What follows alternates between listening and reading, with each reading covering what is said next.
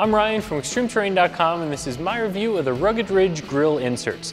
These are available in both black and a chrome finish, and they'll fit all 2007 to 2016 JKs, except it's important to remember that they will not fit on the 2016 Sahara or Special Edition Jeeps.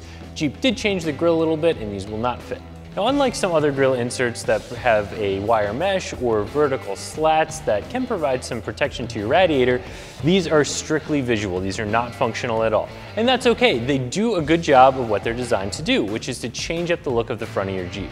So if you're looking for an inexpensive, really easy to install mod that will make your Jeep look a little different from all the other ones that rolled off the assembly line, this is a nice option. Both the black and chrome version of these inserts are built from a UV treated plastic, which means they're not gonna fade or crack over time. In fact, Rugged Ridge provides you with a five-year warranty on these grill inserts. Because of the way these are designed to install, which is to clip into place, they have to fit well, or they wouldn't install at all, they'd just fall back out. And Rugged Ridge has done a really nice job with the fitment as well. These look like they could have come as a factory option right from Jeep. As I said, these are designed to just snap into place and I can't think of a mod I've done to a Jeep that installs any easier than these do. You just walk up to the Jeep, make sure you have the side of the insert with the two tabs facing toward the bottom and you push it into place. You don't even need to remove the grill to get these installed.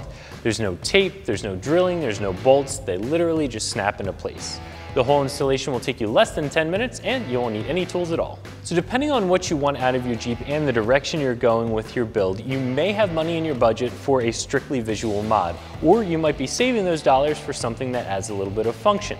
If you are somebody who's just looking to restyle the front of your Jeep, I would recommend going with these grill inserts, even over some of the other options on the market. I think they're priced fairly, they fit really well, and they're made of a high quality material, so you know they're gonna hold up really well over time. So that's my review of the Rugged Ridge Grill Insert Kit fitting all 2007 to 2016 JKs that you can find right here at ExtremeTerrain.com.